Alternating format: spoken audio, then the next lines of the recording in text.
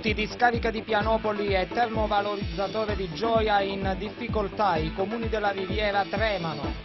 Presentato alla Camera dei Deputati il rapporto della Commissione bicamerale d'inchiesta sugli errori e sul debito in sanità, pesante verdetto per la Calabria. Un regalo speciale per gli ospiti della comunità Il Belvedere, otto ragazzi diversamente abili in barca per un pomeriggio di normalità. Calcio, tutti i retroscena dell'iscrizione sul filo di lana dello Scalea al prossimo campionato di eccellenza. Erano le anticipazioni di Rete 3 News. Buonasera e ben ritrovati da parte di Martino Ciano. Oggi venerdì 15 luglio. In apertura parliamo ancora dell'emergenza rifiuti perché è una nuova emergenza temuta dai comuni del territorio e in particolare dai centri turistici potrebbe eh, avvicinarsi. Ci spiega cosa sta succedendo Andrea Polizzo. La discarica di Pianopoli è di nuovo a rischio saturazione e i comuni altotirrenici tremano. Il pessimo spettacolo offerto da strade colme di rifiuti lasciati a macerare al sole aleggia come uno spettro sul weekend della Riviera dei Cedri, un incubo realmente avvenuto per lo stesso motivo a fine giugno in quasi tutti i centri del territorio e che potrebbe replicarsi a breve con conseguenze negative sul turismo. Il prefetto di Cosenza, Raffaele Cannizzaro, ieri ha rassicurato molti primi cittadini preoccupati e oggi continua a dichiarare di essere in continuo contatto con le municipalità delle due sponde della prefettura. Mentre però la preoccupazione dei comuni, Scalea in particolare, resta legittima, la politica prova ad occuparsi della vicenda. È di oggi la notizia che Angela Napoli, deputata calabrese di Futuro e Libertà, ha presentato al governo una interpellanza per chiedere quali siano gli urgenti interventi per ripianare l'emergenza ambientale in Calabria e qual è l'attuazione degli impegni assunti dal governo con l'approvazione della risoluzione avvenuta in Parlamento il 23 giugno. A contribuire in queste ore alla crisi di Pianopoli la saturazione dell'unico impianto di termovalorizzazione dell'intera regione, quello di Gioia Tauro. I comuni impossibilitati a conferire nel termovalorizzatore Reggino dunque vengono dirottati verso l'unico impianto in grado di riceverli, appunto Pianopoli. Preoccupati anche i toni dell'assessore al ciclo dei rifiuti del comune di Cosenza, Carmine Vizza. Una riduzione del quantitativo di rifiuti conferibili alla discarica di Pianopoli ha dichiarato ci avvicina ad una fase di emergenza che cercheremo di contenere quanto più possibile.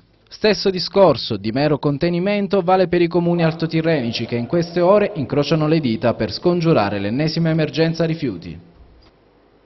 Come dicevamo, l'emergenza rifiuti rischia seriamente di compromettere le vacanze dei tanti turisti che si riversano sulle coste dell'Alto Tirreno Cosentino, strade e cassonetti stracolmi di rifiuti decorano ancora le vie di Scalea e noi abbiamo raccolto una genuina lamentela di una turista che aiuta un po' a sdrammatizzare la situazione. Sentiamola.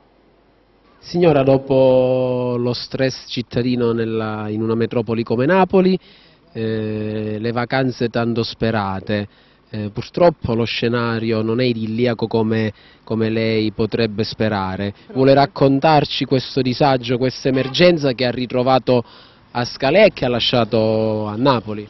Sì, proprio. È stato no, un dispiacere che è malassato quella mondizia là in Napoli e qua pensando che era meglio, non c'era. E stanno peggio di Napoli qua, è troppo brutto sono cose proprio che fa schifo. Eh, noi, per noi no, che portiamo le ragazzine, eh, trovare una cosa più eh, pulita, no? No, è sta, questa immondizia qua, che noi non possiamo manco pigliare un po' d'acqua per bere, un'acqua pulita, e questo odore non ci fa proprio niente bene per la salute. Da quanti giorni si sta verificando questo stato emergenziale? Sì. Eh, 7-8 giorni, più o meno. E noi stiamo proprio mm, oh, veramente dispiaciuti di questa situazione. E adesso mi ha visto a voi e, e, stiamo parlando, no? I, che stavano filmando e tale, e lo signore là pure, la signora, stavano domandando l'acqua e voleva dire a me come mai sta questo?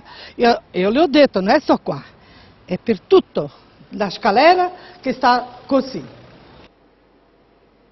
Salviamo la sanità calabrese, ma ciò è possibile? Se lo chiede Liberiamo l'Italia, movimento politico-culturale tramite Giuseppe Lanuara, responsabile della direzione Alto Tirreno Cosentino.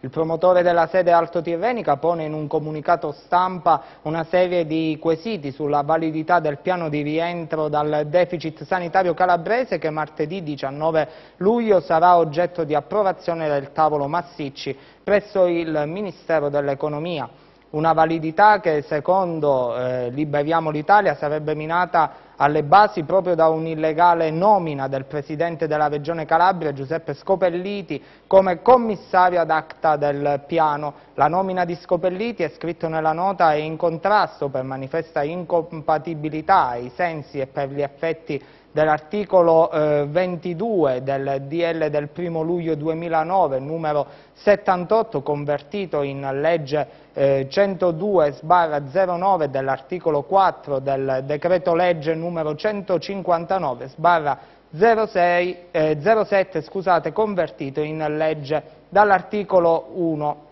eh, numero 227 sbarra 07, quindi il Consiglio dei Ministri nel nominarlo commissario ad acta avrebbe commesso un macroscopico abuso. Di conseguenza, secondo la Nuara, tutti gli atti del commissario ad acta della sanità calabrese dovrebbero ritenersi inutili. Inoltre Liberiamo l'Italia ricorda che ad oggi ancora non sono stati approvati i bilanci delle aziende sanitarie ed ospedaliere, eh, ospedaliere scusate, calabresi ed in alcuni casi addirittura sono stati bocciati dalla stessa Regione. Perciò, conclude eh, l'annuara, come è stato possibile inviare compiutamente il eh, debito sanitario?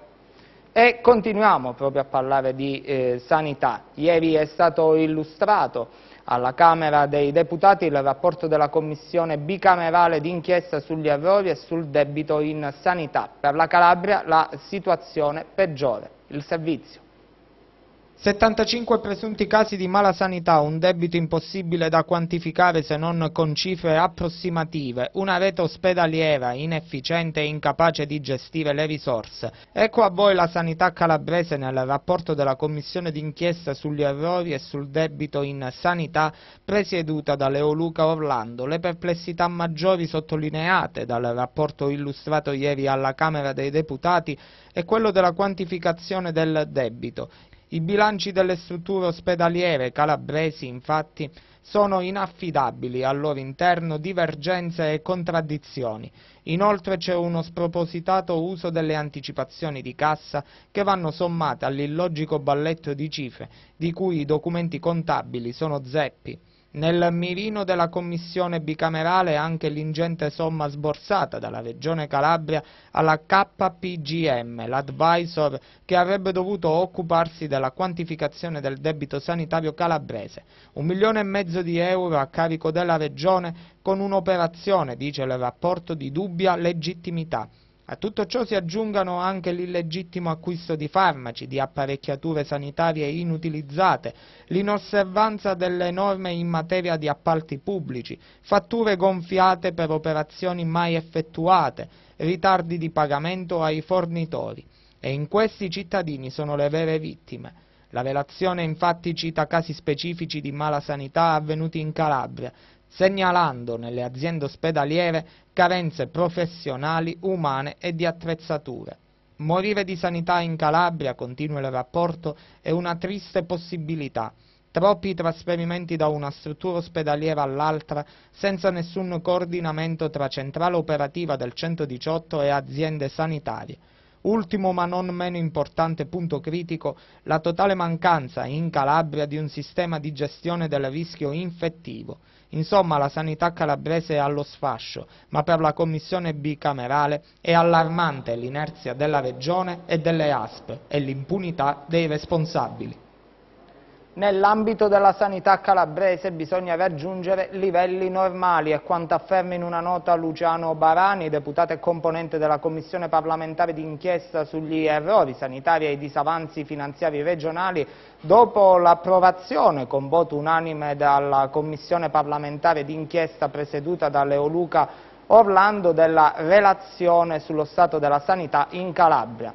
È stato analizzato il periodo tra gennaio del 2000 e il maggio del 2001, ha detto Barani, e si sono evidenziati gravi problemi strutturali e gestionali. Il Presidente della Regione Scopelliti ha ereditato una situazione economica disastrosa e molto difficile da gestire.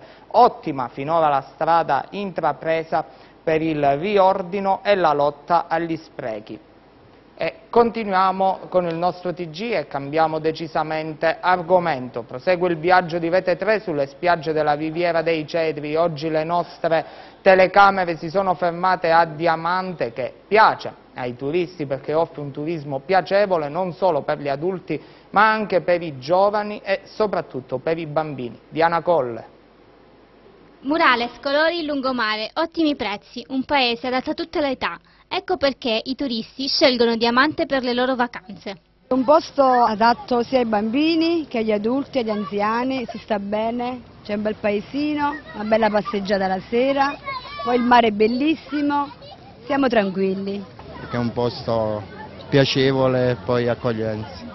Ci piace perché c'è quasi tutto, un mare bellissimo, il centro vicino con tante, insomma, tanti negozi, anche la possibilità di vedere un bellissimo lungomare. Sono 30 anni che vengo qua, mi sono trovata bene dall'inizio e ci sono, ho comprato casa e ci sono rimasta. Diamante è una località molto bella. Piacevole e accogliente, Diamante richiama turisti durante tutta l'estate per vacanze sia lunghe che scaglionate. Sono stata una settimana, poi faccio qualche altra puntatina di qualche giorno. Un mese, facciamo il mese di luglio, poi qualche volta torniamo ad agosto. Un mese. Un mese e mezzo. È dai 10 ai 15 giorni. Diamante inoltre dà un'ottima offerta e forse è il paese della Riviera che attira più giovani per l'ottimo rapporto qualità-prezzo. Ma anche questo gioiello non è esente da critiche, soprattutto riguardo alle barriere architettoniche quando si tratta di disabili e la richiesta di qualche divertimento in più anche per i turisti che vengono a luglio. Quello che tengo a lamentare soprattutto per i disabili non c'è proprio niente, niente, niente.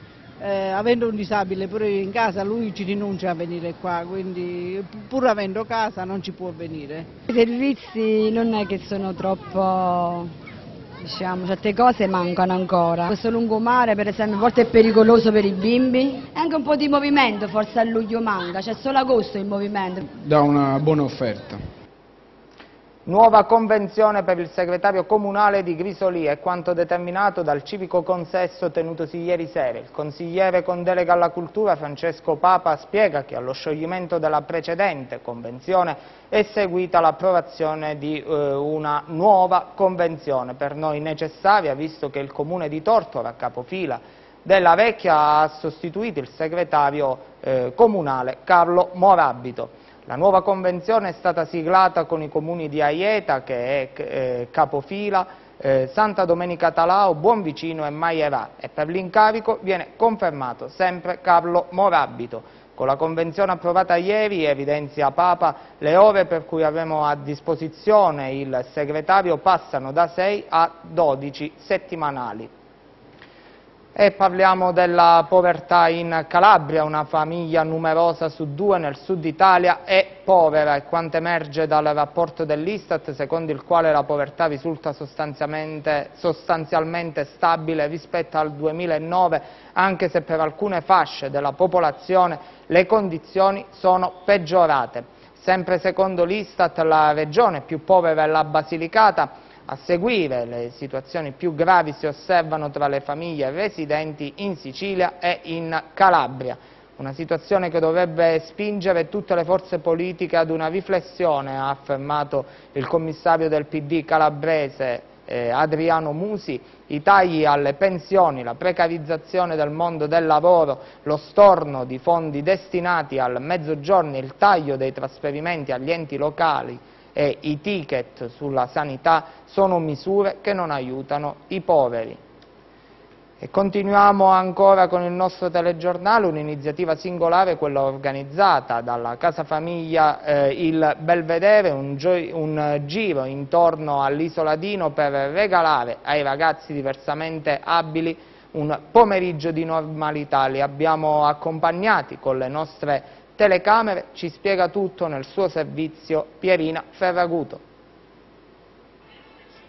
Oggi Rete 3 ha deciso di accompagnare i ragazzi disabili ospiti della casa famiglia Il Belvedere gestiti dall'AIAS sezione di Cetraro a fare un giro turistico intorno all'isoladino di Praia Mare a bordo dell'imbarcazione Lara Zara di Arturo Manco. Insieme ai passeggeri d'eccezione gli operatori della casa famiglia e la coordinatrice della struttura Mercedes Scilingo. La casa famiglia dopo di noi Il Belvedere viene aperta nel 2008 e ospita attualmente 8 disabili gravi e o senza nucleo familiare o dove la famiglia è impossibilitata a mantenerli. Diamo assistenza 24 ore su 24, è una struttura residenziale che li ospita, quindi noi siamo la loro famiglia. Nel periodo invernale vanno a scuola e nel pomeriggio fanno le diverse attività, mentre nel periodo estivo quindi facciamo le diverse attività come questa di oggi che comprende appunto una giornata in barca. Estate anche per loro e quello che noi cerchiamo di fare è proprio di farli sentire appunto normali. Domenica prossima passeremo una giornata con i fuoristrada nelle montagne di Verbicano.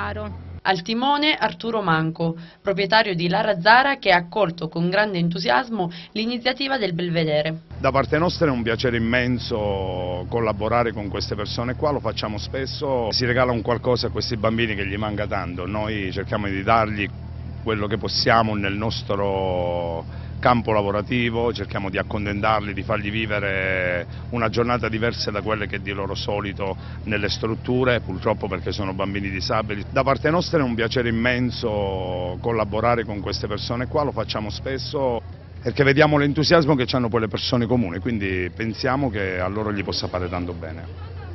Resto sconcertato di fronte a questa violenza gratuita, ma una vicenda isolata non può gettare fango sui tanti docenti che lavorano nei nostri asili. A dirlo l'assessore della Regione Calabria al lavoro e alle politiche sociali Francesco Antonio Stillitani, in merito alla vicenda dell'asilo comunale di Mileto che ha visto l'arresto di quattro maestre per ripetute violenze su un bambino disabile. L'obiettivo per il momento, conclude Stillitani, resta quello di realizzare asili comunali o convenzionati nel maggior numero di comuni calabresi possibili in modo da dare la possibilità a tutti i bambini in età eh, prescolare e dalle loro madri eh, un servizio utile. E andiamo invece a Verbicaro, cambiamo nuovamente argomento, inaugurata ieri sera nel corso di un seminario storico presso il centro Giuseppe Impastato la eh, mostra risorgimentale, i particolari nel servizio di Giuseppe Miraglia. Noi abbiamo ripiantato l'olmo là dove era stato collocato nel 1799, epoca della rivoluzione partenopea, da eh, cittadini di Verbicaro che appoggiarono quella grande esperienza. Dunque un avvenimento di elevato pregio storico, a sostenerlo il sindaco di Verbicaro Felice Spingola a margine della terza giornata per le celebrazioni del 150 anniversario dell'Unità d'Italia, che si è tenuta ieri sera a Verbicaro. La piantumazione dell'albero della libertà ha coinciso con l'inaugurazione della mostra di documenti originali provenienti dal Centro Studi Risorgimentali Mauro e allestita presso il Centro di Educazione Ambientale Giuseppe Impastato. Il primo cittadino di Verbicaro ha evidenziato inoltre il valore dell'iniziativa promossa dall'amministrazione comunale. Quello che interessa è restituire al piccolo paese di Verbicaro eh, la memoria della sua storia, ma anche delle relazioni con la storia del resto della Calabria e del Meridione, ma del resto d'Italia.